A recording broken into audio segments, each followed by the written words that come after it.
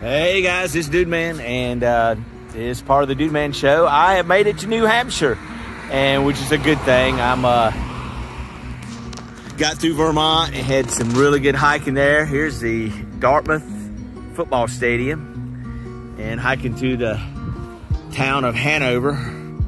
It crosses over from one town in uh, Vermont and, and then crosses over into Hanover. So, uh, across the Connecticut River, my doggone phone uh, battery died on me when I was crossing the river, but I do have a uh, uh, picture of the river and the picture of the New Hampshire Vermont line. So, you'll see that on the Dude Man show. But we're, uh, as uh, I've showed you before, you hike on city streets sometimes, but uh, I'm hiking towards that mountain there this is a small mountain range compared to what I'm fixing to go go through. But uh, uh had a breakfast this morning at a uh, outdoor tenting area outside of a restaurant, and uh, uh, two or three of the hikers I hiked with yesterday, Dio and Hungary, uh, hiked with me uh, yesterday, and they met me there at the restaurant, and another guy named Blue Moon. We all sit there and had breakfast together this morning, and it was so cool to see a uh, one of the hikers uh, ask for, "Do you have any packets of mayo?" And uh, he wanted a whole handful, and that's the way uh, hikers are. They have to. buy, get condiment, condiments and help them. There's a blaze. Uh, you, you, get condiments from different restaurants and you enhance the food that you're eating and kind of helps you along the, the trail and stuff like that. But you beg, borrow, uh, and I have a feeling sometimes occasionally steal stuff to, uh, uh, which I don't encourage, but uh, they, you know, to, to make you make it on the trail and, and get from Springer Mountain, Georgia, all the way to Katahdin, Maine. And man, I only have two more states left. I have New Hampshire and Maine, and that is it. I have done 12 of the 14 states. And uh, I am excited for this journey. Uh, currently have like uh, 440 some miles left to go.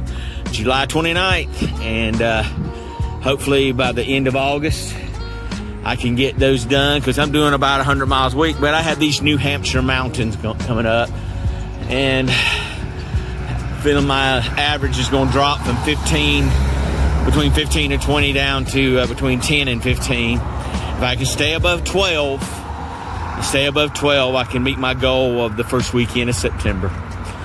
All right. I see another white blaze out of the side of that semi truck, and we're going to keep on keeping on. Dude, man, out.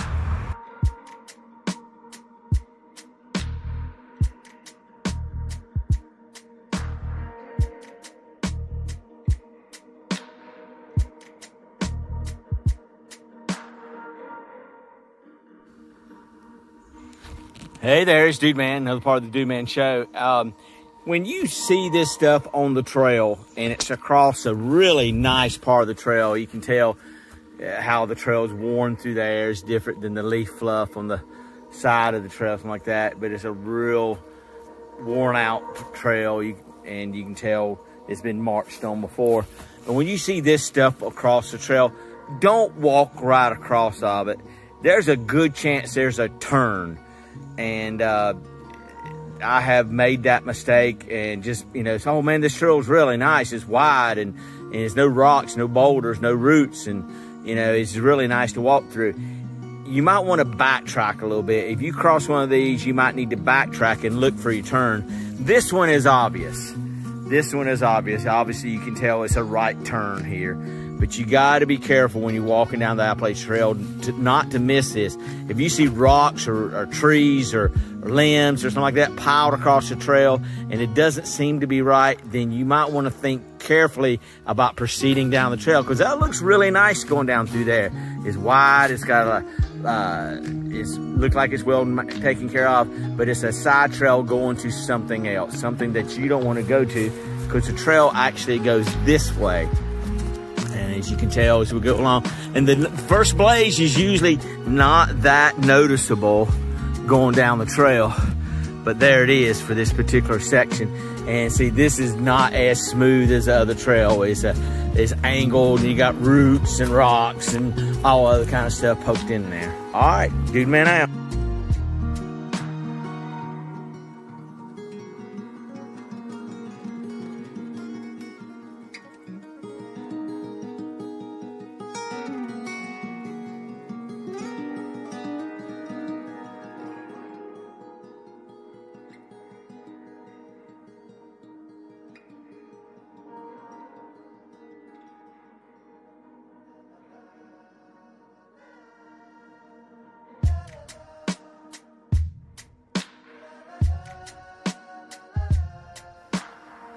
Hey guys, this is Dude Man trying to do a 19 miler today. Uh, going to New Hampshire 25. Yes, I am in New Hampshire. And uh, a lot of rocky outcrops along this ledge here, as you can tell. And I have uh, to understand, from what I understand, this is typical of what it's going to look like for the ledges and the you get up on some of these mountaintops that we go to New Hampshire. But this views that I'm going to get along the way. And this is not even close to what how great it's going to look like. It's going to get better and better as I go through this. New Hampshire is going to be spectacular. All right, dude man out.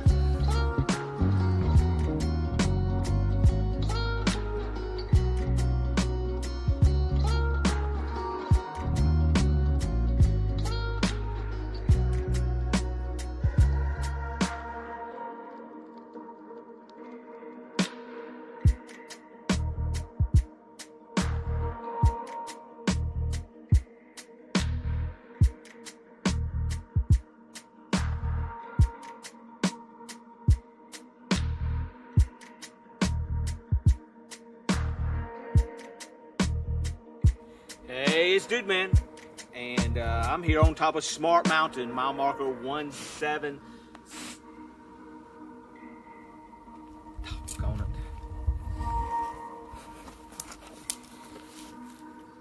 Hey, it's Dude Man. I'm at mile marker 1774 on top of Smart Mountain. I'm in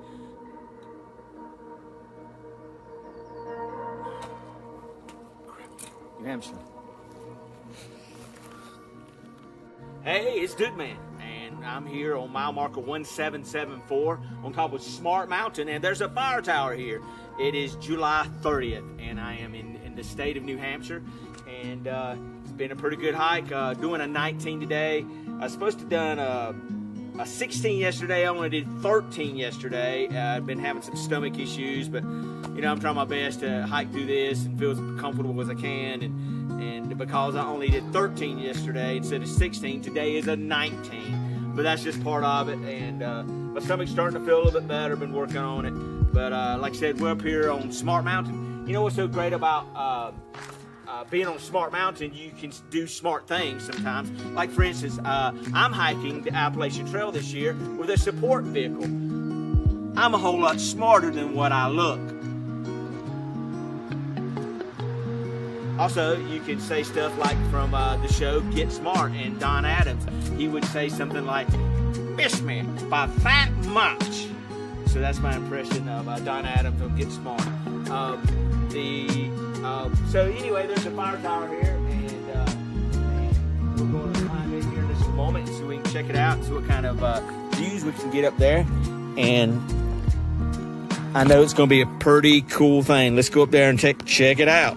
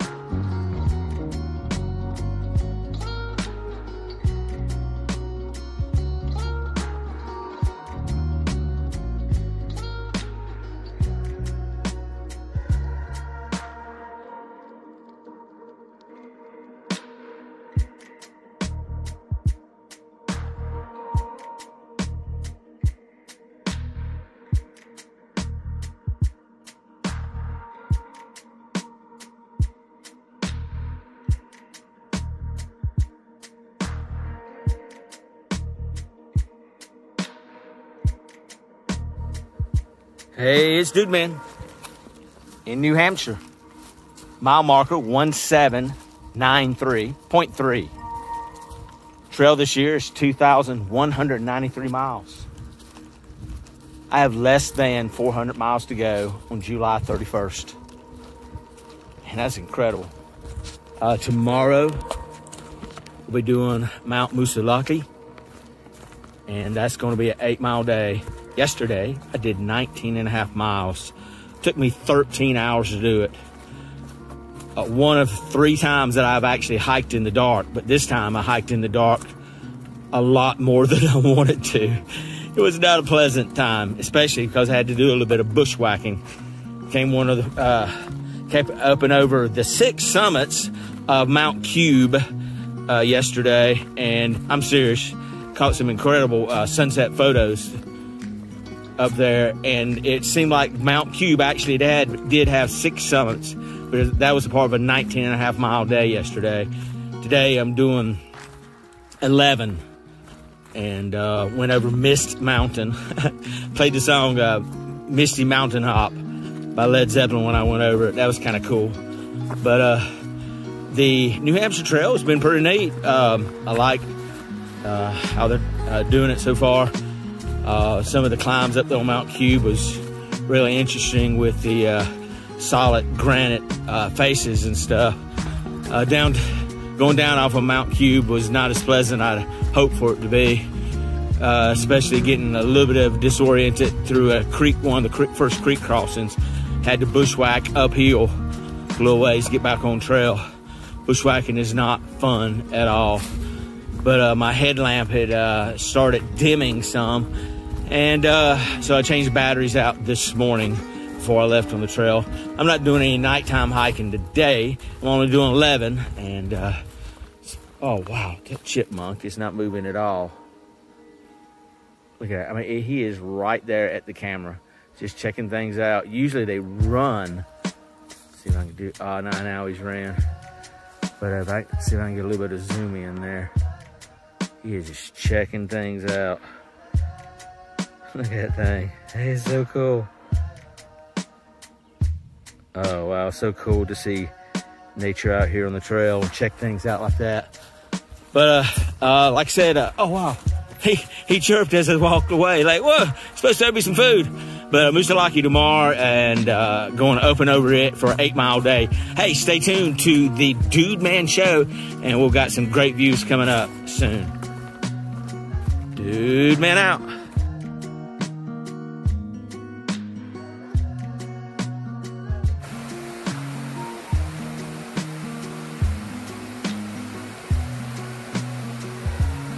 Nice swimming holes here in New Hampshire. Almost through with my 11 mile day.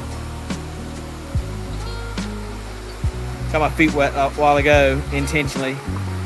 Not here at this particular water source, but um, kind of cool the feet down. July 31st, 80 degrees. But uh, Moosilauke tomorrow. It's gonna be fun. Dude man out.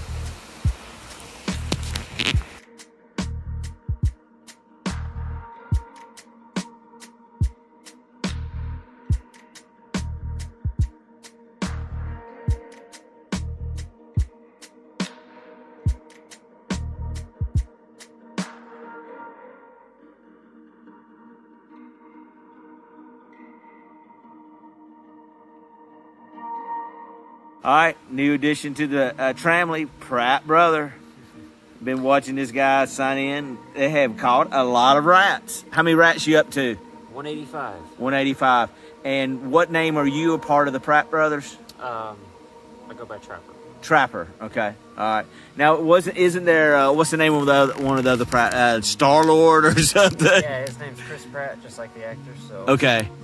Go with Star Lord. This is from uh, Guardians of the Galaxy. Yeah, yeah, yeah. I love that. Yeah, yeah. Uh, in the movie, uh, he comes up. I'm Star Lord. Who? All right. Well, I'm glad you got to be part of the duo, uh, Dude Man Show. Dio, what's What's your up? plans, man? Moosilauke. All right, dude. get to the top and see where it goes from there. All right. Well, Yeah, you- you have, I will see you guys on the other side tomorrow. I'm See hiking. the it other-